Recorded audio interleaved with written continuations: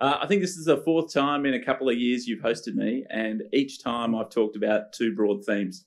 The first is our position uh, in rail freight across Australia. So we have great asset scale. We have 700 locomotives. We have 13,000 wagons. And so that makes us the largest rail freight operator. But what's unique is that we also own and operate 5,000 kilometres of track. No other rail freight operator does that. And so that gives us a really unique position across the country. The second theme I've always touched on when I've been here is the fact that as a business, we have really good inflation and interest rate protection. In a higher inflation and interest rate environment, Aurizon should do well. What's nice today is I can actually point to some numbers that prove that, and that is what I'm going to show you now, which is some key themes from our half year results. So I'll start in the top left. You can see our EBITDA up 26%. What was encouraging about that is our three main business units all contributed. So across coal, network, and bulk, EBITDA was up. That's what drove the group EBITDA up 26%. What's encouraging is that we saw really strong free cash flow, so good free cash flow conversion, and that's helped provide us with additional balance sheet flexibility. And what we do with that flexibility is something I want to come back to a bit later. We also declared an interim dividend of 9.7 cents per share. Uh, that was based on a dividend payout ratio of 75%. Now, as I said before, good free cash flow, that's deleveraged the balance sheet. It's given us more flexibility. And so, what was new in our result last week that we flagged is shown on this slide down the bottom. And that's that we will have more flexibility for increased shareholder returns in FY25. Throughout the last week, people have been saying, What do you mean by that? What we mean by that is that you are likely to see an increase in the dividend payout ratio and or capital management in the form of on-market buybacks. Those are both things that we've done in the past. And given the financial position of the company and how we project it going forward, we expect to have good balance sheet flexibility to enable that in FY25. When I've been here in the past, I've talked about progress against our strategic aims. And so I wanted to put up our half year results almost by business unit that demonstrate that progress. so on the left is our coal and network business EBITDA. So remember, I said at the start that we have businesses that should perform well in a higher inflation and interest rate environment. Well, our coal and network businesses are just that. We have CPI resets in our revenue contracts in our coal business. And in our network business, it's a regulated almost utility. And so what happened on the 1st of July 2023 is we had a reset of the regulated asset base and the weighted average cost of capital.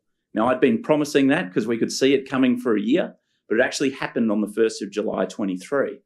And so that's what drove strong earnings growth, in particular in the network business. But if you combine the uplift in EBITDA across network and coal, both of them combined up 30% on the prior corresponding period in terms of EBITDA. And that's that orange bar in the left hand chart. The chart in the middle is our bulk business. And you can see if you go back five or six years ago, it was a pretty small contributor to the overall group.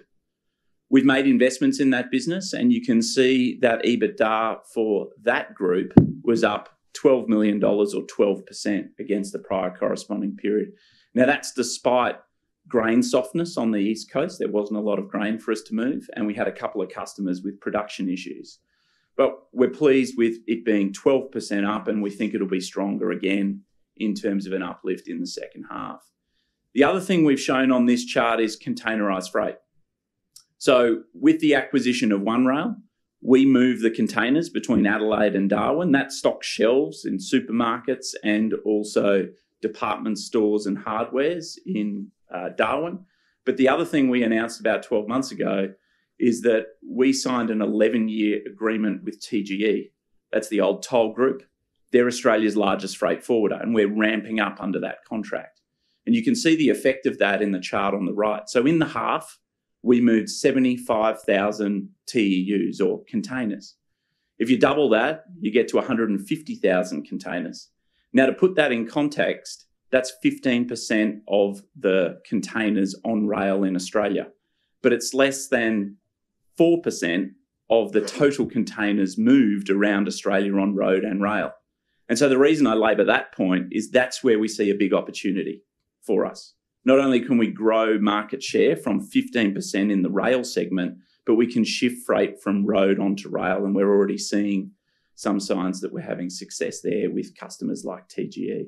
So we're expecting to move a lot more boxes on rail as you project forward over the next two, three, and four years. So those orange figures are, if you like, our scoreboard as at the half. But as I tell my kids, you don't give out trophies at half time. Uh, it's only at full time. And so what was important at our result is to reiterate our guidance. So we're a company that gives quantitative guidance. We give guidance for EBITDA for the full year, uh, which we've reaffirmed at 1.59 billion to 1.68 billion. We also reaffirmed our guidance for sustaining and growth CapEx for the year. None of those have changed. And the reason we give EBITDA and we give CapEx is because they're good proxies for free cash flow. And the reason I wanted to finish on free cash flow is the point I made earlier, which it's the strong free cash flow of Aurizon, which is enabling us to have balance sheet flexibility and then to have more flexibility for shareholder returns in FY25.